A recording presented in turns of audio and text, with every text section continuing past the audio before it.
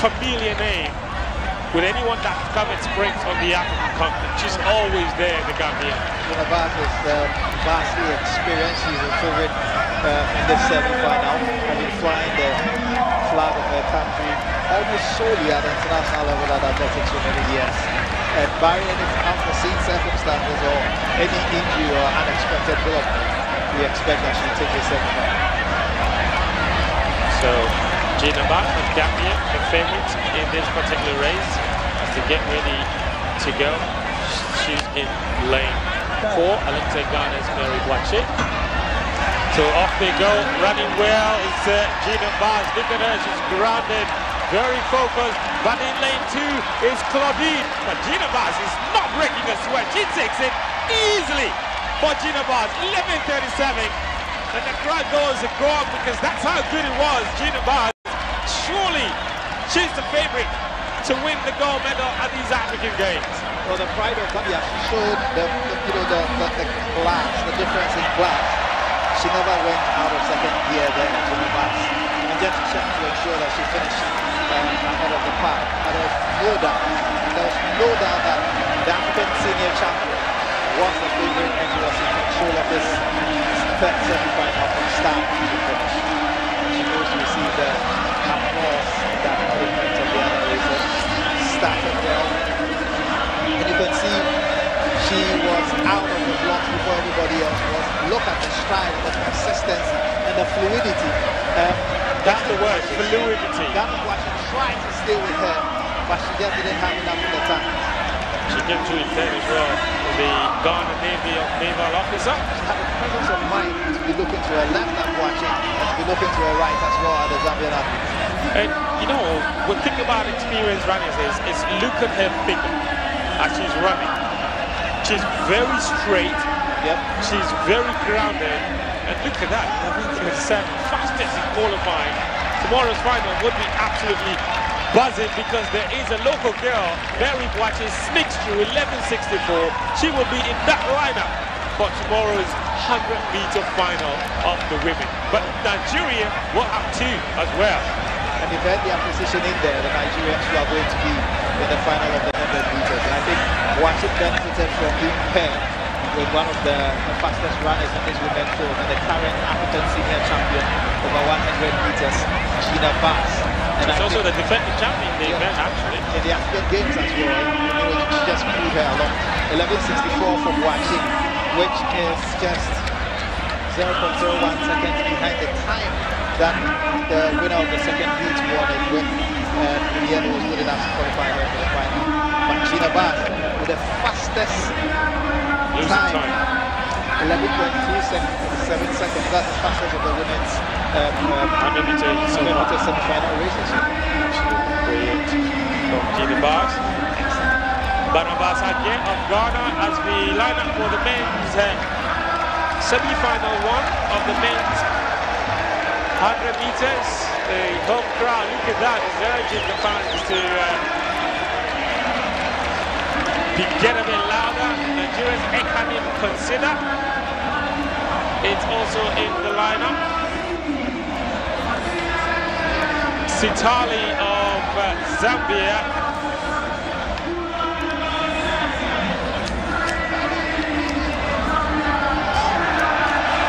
And uh, Botswana of Letsile Tebogo. Zanu Botswana. And now Safwan San of Ghana. Very well known. So two Ghanaians in the race. In semi-final one of the men's 100 meters. And that will be an exciting one indeed. And Wenga of Zambia, another national champion. Gary Noel of Mauritius is the national champion. Barnabas again of Ghana is in lane four. In lane five is uh, Claude Emmanuel of uh, Cameroon. He won his heat. Ed Hanim Consider of Nigeria is looking to make the or keep the crown in Nigeria because the last 100 meter race at the last African Games in Rabat in 2019 was won by Nigerian Raymond Ekevwo. He's not here. The bronze medalist from that race, Itsekiri, is actually here as well. And then there's Kakini Sitali of Zambia, Masasa Kuto of Botswana, and Ghana's Safu Ansan.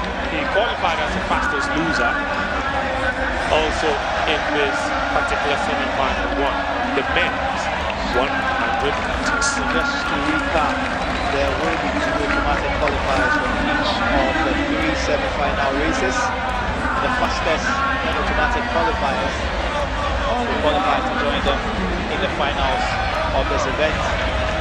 Two of them. will qualify to join the six that qualify automatically. So it's Mwinga, Moajero, Barnabas, Claudio Manuel, Consider, Kuku, and Saku. The first of three semi-finals. The men's 100 meters. Well, consider, consider them. That's the question. Or will consider be considered?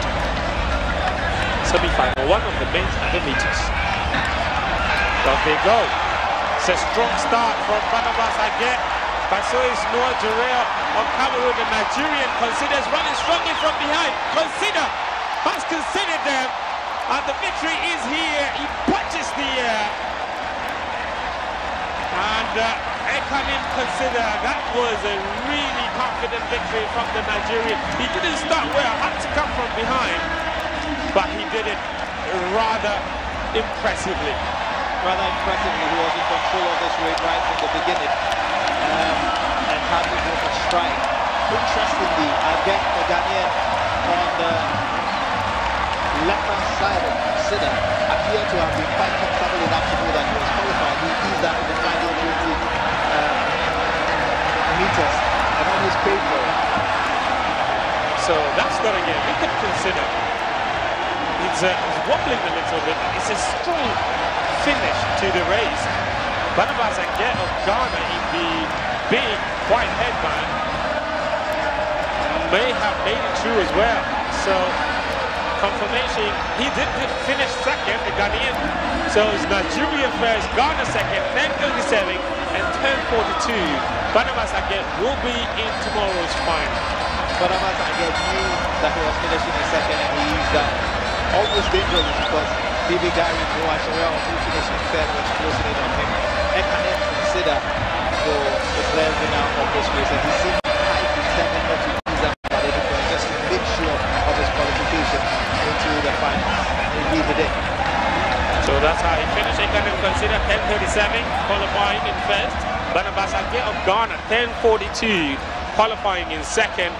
Gary Noel Jarrell 10.47. He will have to wait for the rest of the races to see if he makes it through as one of the two fastest losers Interesting. This is the second successive race that Gerald Bibi Noel Gary from uh, Mauritius finished in third because he finished the same uh, time in the first heat and still managed to qualify for the next stage of the fastest loser final. So will he be a second time lucky? And the man in your short, another Nigerian in there. So Nigeria in the sprints have got men and women everywhere. They've got one in the semi-final, one, they've got another. Oh, the lights might just have gone off inside the stadium there, hasn't it?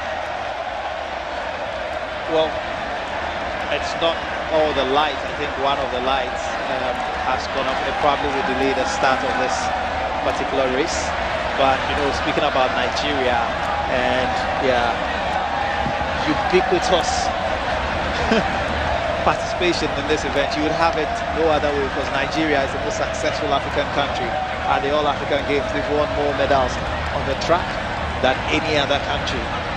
And they always have a way of reproducing generation and generation after generation after generation of, of sprinters, both women and men. They had two men on the podium at the last African Games with Raymond Ekevwo and Itsekiri uh, winning gold and bronze in the process. And uh, like you indicated, there might have been an issue with the lights, so it's going to delay the start of this semi-final. But the lineup is complete with Mahmoud Shakir of Morocco in lane two.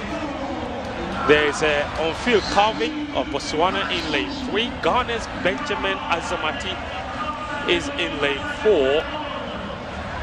He is an old student of this university. He started and mastered his craft on this particular track, so he's got big support for him. There is Cameroon's Emmanuel Alapwede, who also won his heat. Yep. And now we're going to, you're going to get the loud cheer for this man.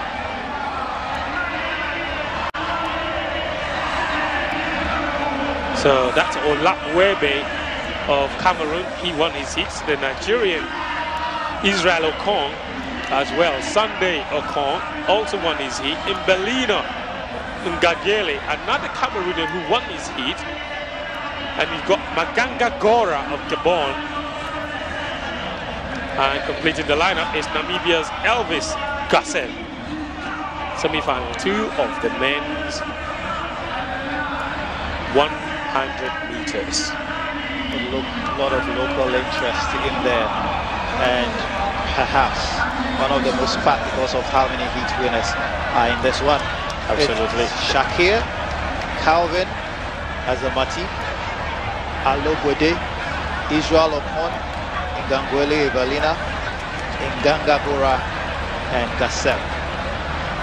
And the second of the three semi-finals of the men's 100 meters.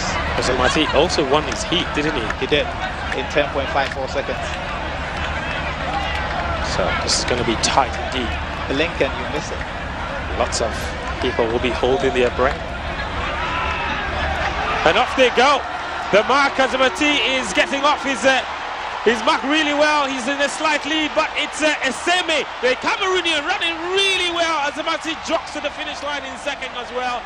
And the Ghanaians are cheering because they will have two men in the final of the men's 100 meters tomorrow. That's two chances for a medal for the home crowd. But Nigeria's Eseme, I beg your pardon, Cameroon's Eseme is the winner. Emmanuel Eseme also won his heat. He's a big, big character, Emmanuel Eseme. And uh, he looked very comfortable at the end there, didn't he? Why not? Because he's making blistering times. Manuel Eseme won his heat in 10.15 seconds. That was the fastest. He was the fastest big lad with a stride of a 200 meter runner. And once he got out, it was quite clearly the guy who was going to win this. Azamati easing up just in time as his Nigerian opponent. I'm not sure why Okon eased that though. Because he's not qualifying as an automatic qualifier. He was finishing in third. So he needed the time. So unless he knew that the race was quick, that didn't seem like a, a wise decision. We'll wait for the official confirmation of the times, and here they are. 10.23 is really, really quick. 10.41 for the Ghanaian.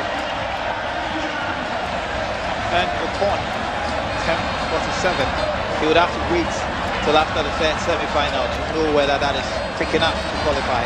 So the third and final semi-final. But we were talking about Eseme. He's an African champion, uh, a championship silver medalist.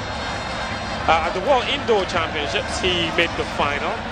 He's a winner of the Francophone Games. And the two times he made the final at the Commonwealth Games. Certainly not one to push around, but I'm quite impressed, particularly with the consistency of the times that he's running.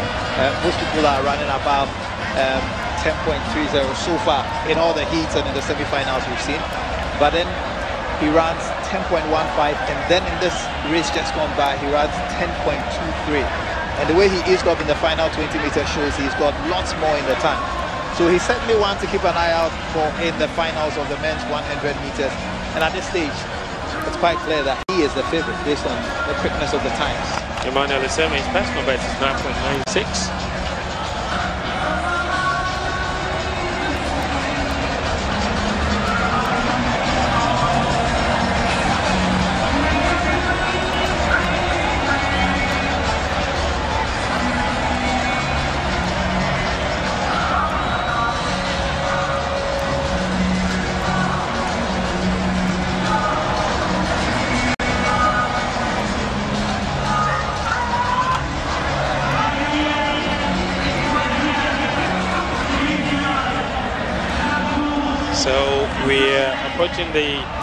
third and final semi-final heats of the men's 100 meters.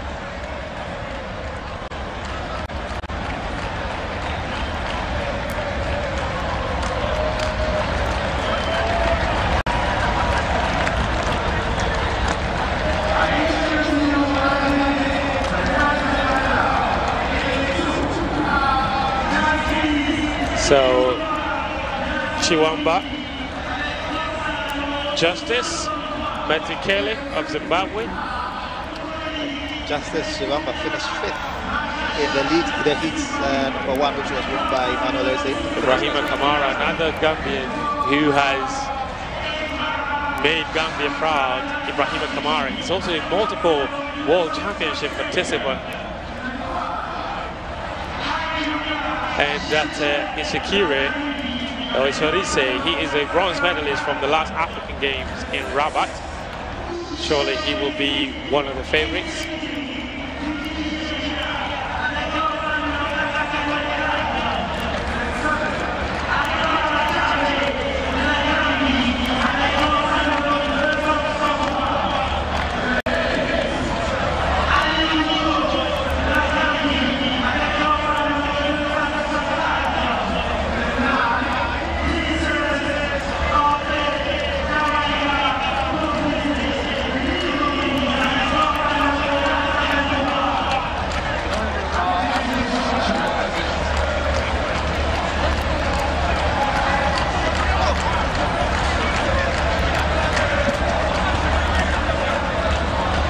So the lights are back on and uh, we can uh, finally do heat three. It's been a bit of a fluctuation with the electricity inside the stadium, but uh, we are back on now. And uh, heat, or semi-final three of the men's 100 meters. Usheoritse, Ibrahima Kamara oh, that's a really poor early start. It's going to be a, a false start. They've been called back, and I think it's the Zambian in lane one who has uh, got up too early in Chuamba. Ah, it's Chuamba. It's uh, it's got off really early, way too early. It's a big, big trouble. Is he not? Well, Revival, that's his name, Revival Mwinga Mwimba, just bloated the copybook because I was just about to comment on how we've had very smooth start so far in all the sprint events without any false start. He certainly had the quickest reaction time and when they checked, they would realize that his, his reaction time was probably illegal and he would get the red card, so would not race it. But they have Well, it. We've seen some of them giving uh, green cards in the process, so we'll see what happens. But this is not looking good for the Zambian. It is not looking good at all. The officials are reviewing the tapes before they make a decision. And uh, check the reaction time of each of the, the runners, the athletes, and then determine whether the reaction time was within the he's off. result. He's off. I mean, it was, it was, it was Shizwamba Justice has been disqualified. This reaction, uh, according to track rule number 16.8, which is the false start rule. And uh, he had no qualms whatsoever. He knew. So, he knew. So I mentioned Ibrahima Kamara of Zambia, uh, of Gambia. yeah. He's been in multiple competitions alongside Gino Bass. Just the two of them always racing the country's flag. But it's Akiri is a bronze medalist from this event uh, four years ago, rather five years ago, from Nigeria. There's two Zambians here, Gambians here. What do I keep saying Zambia? Adama Jammeh. Oh, another false start! My word, what is going on? They've been called back again. We saw this in the heats.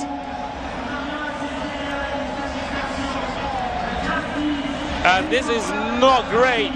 We're going to look at the replay here, but another athlete is in big, big trouble. Well, well, well.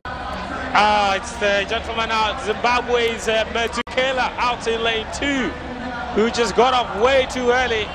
He knows, he knows. Quite a shame. We lost.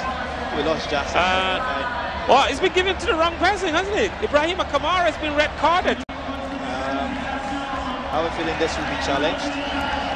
It doesn't look like he was the offender, does it? No, replays show that it was um, Makusha Ngoni Motekela from Zimbabwe who had a fastest reaction. So I'm really surprised. Well, let's see. Well, Kamara is, is coming back on. Yeah, right. Surely that has to be a mistake. It is a mistake. I'm convinced about that, and there will be a review. And uh, Makusha Ngoni, lucky guy in the first instance. I'm not sure he will pass the test the second one. Oh, okay. He, he didn't move. He did. He did. He did stutter though, because that's that's one of the things about the rule. So making an attempt to move. Wait for the confirmation. Because he did make the first attempt, but he didn't get off the block. So he. So ah, okay. This is. Could Makusha argue that he was spoofed because of the move? That's the point. Exactly by Kamara. Exactly. So it's a tough one for the officials. We'll we have seen this before in the past in track multiple times where the athletes next to the one that made the initial shimmy, if you like. It was a shimmy with head movement, but he did not move off his mark. It was well, the Keller who moved off his mark. And like you said, he could argue he moved because of Ibrahima Kamara's body movement. So this is a uh, this is taking time to consider. That's because certainly it's not an easy decision. So a field of eight has already been whittled down to six. Uh, Juf Aliu did not start. Juf Aliu of the Gambia didn't start. Kamara Ibrahima, well, we aren't clear whether he will be disqualified. Um, but Justice, Justice has already been disqualified. What a shame it would be if the Gambian runner Kamara Ibrahima what a big shame. What a big shame. Two athletes in the race. One did not start. We are not sure what reason, occasion have not started. We don't know if Makusha Motekela will be allowed. Uh, there you go. And this is the right decision. So yellow card for Ibrahima Kamara, nothing for uh, uh, the Zimbabwe Masekela, and that is the right decision in my opinion. Because Ibrahima Kamara scooped Masekela. There you go. There you go. So, and, and, a yellow card because, like he said, he didn't move he didn't. off his mark. Yeah. But his movement cost Masekela to leave his mark. It's a fair decision. It's a fair outcome. Brilliant decision. Hopefully we can get off the mark now. Brilliant decision by the officials. Brilliant decision by the official. This is only the fairest out you could have imagined. So out of an original eight, we have only six started. It's Motekela, Ibrahima, Aluka, Ushirute, Jammeh, Ofe Jamaica and Just this Chivamba who's been disqualified. And there they go. Finally, we have a race on our hands. It's Ibrahima Kamara running really strongly. Look at him out to lane two. But the Nigerian Itsekiri is out strongly. The bronze medalist from five years ago in Rabat takes another win. Another victory from Nigeria. Surely he knows he could be on the podium yet again. Him alongside Eseme and Azamati. That's a race we have in our hands on tomorrow's final. It's a show of power and acceleration. He had a good start, but it was Ibrahima who had a better start and led the race for three quarters until the final 30 meters or so, where the Nigerian showed all his experience and skills um, to finish. But the interesting thing is the question over who finished second. It would appear as if Ibrahim Kamara must have finished second, but Bukusha, the man who almost got disqualified, finished like a train. And I, I can't wait to see the official confirmation of the results to see who would finish with Nigeria's Usheoritse. 10.29 for Itsekiri Usheoritse of Nigeria, 10.45 for Ibrahima Kamara. And you're right, Kamara got a brilliant start, got up the mark really well, but uh, Itsekiri, once he got onto his stride, what a finish in the end. Knee-high running. It's a fantastic finish for the African Games bronze medalist. He knew Kamara was in the lead. He knew that it was neck and neck. And he managed just to accelerate in the final stages of the race. He didn't want any hanky-panky business. And it looks like the second and third athletes will wait for the official confirmation to determine. And in third place, uh, Gilbert Hainuca of Namibia, 1046, qualifies as one of the fastest losers. The other fastest loser will be Gary Noah Jarrell of Mauritius. The rest of them confirming their places. Azamati Eseme, Shakire, all of them, Ibrahima Kamara, all of them making it to tomorrow's final. That would be... I have to say that I'm impressed with the lack of Gary Joel in the heats. He waited and he was one of the fastest qualifiers. And again, he's one of the fastest qualifiers. But what a final. We have on our hands. I mean, it,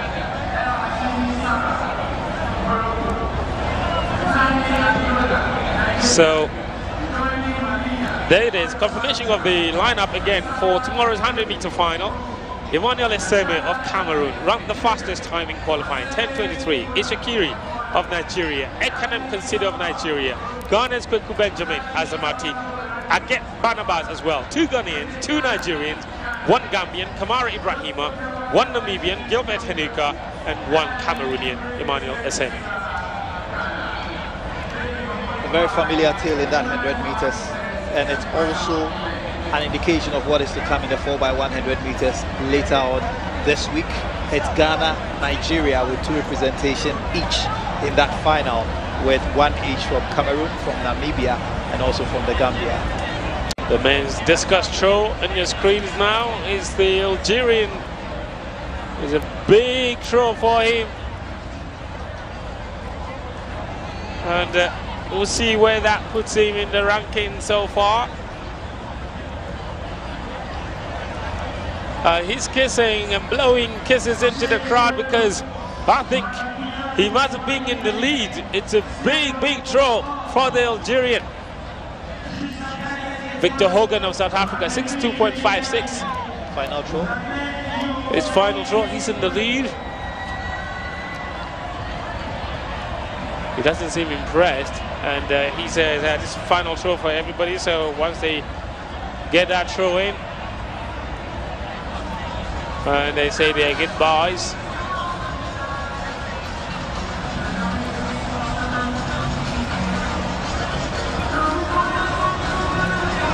Uh, we will see confirmation of the time there, but uh, is taking a lot of uh, congratulatory handshakes.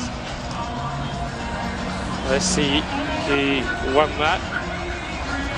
It's Victor Hogan, 62.56, Khennoussi Oussama, 59.97, and Ryan William, 55.42, completing the result of the men's discus throw. So that's the final. So it's a gold medal for South Africa, a silver medal for Algeria, and a bronze for Ryan William of Namibia. 55-42. It's a big throw and a big, big medal for the Southern African nation.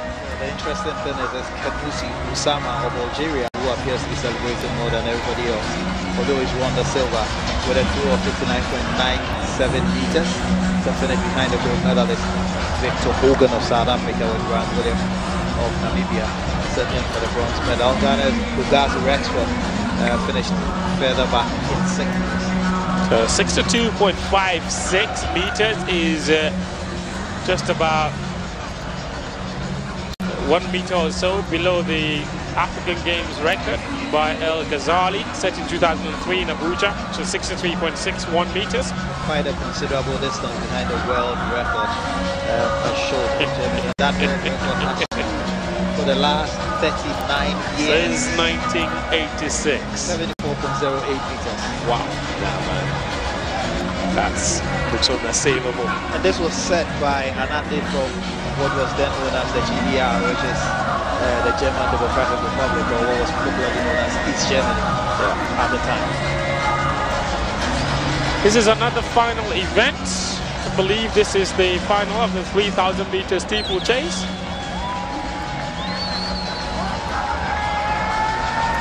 So this is the event where they jump over hurdles and onto ponds. There was a time when the Kenyans were untouchable and had a streak where since 1965 they had not even been beaten in the steeplechase. Over the last few years, we've had the Moroccans and um, more prominently the Ethiopians matching the Kenyans in events that they monopolized for several decades. And so this will be an intriguing run. The exciting thing is that the Kenyans, and there are two of them in this final, tend to tag team. They tend to run as a team and work together to the finish line. So there'll be a lot of subplots to this, how the athletes will be running.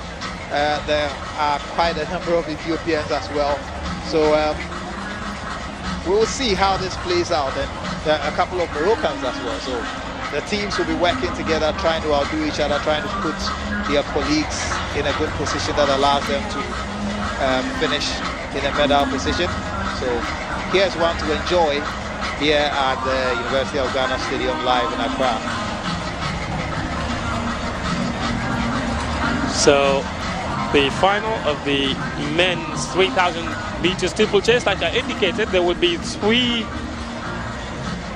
medal events this evening. One of them you've already seen, the discus throw, taken by Victor Hogan of South Africa, with Khennoussi Oussama of Algeria in uh, the silver medal place and also Namibia's uh, Ryan William taking the bronze medal. This is another one of the medal events this evening, finals this evening, and then after that, the women's 5,000 meter final will also happen later tonight, which will also be a medal event.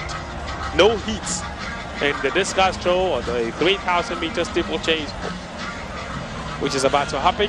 It's just straight to a final, and the winners will be. You know, the steeplechase is a very specialized event. Absolutely. Not every country fields athletes in this. And then it's not just a case of having long distance runners who are capable of um, participating in the steeplechase. It takes a lot of exertion to be able to finish the steeplechase. Um, and you would have to be skilled to be able to do the normal jump and the jumping into the pool. And still keep your composure over the distance.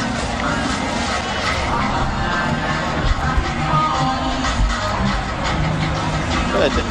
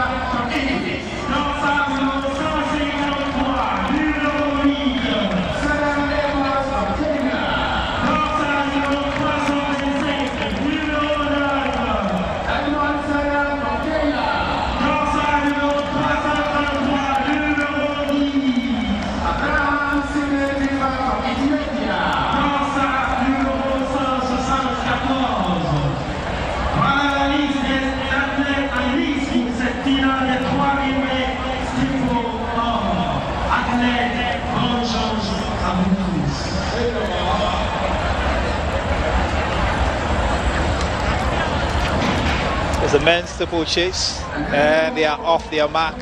The Kenyans like to run from the front, and almost immediately they run to the front.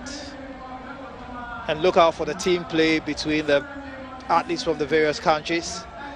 There are three Kenyans in this race, three Ethiopians,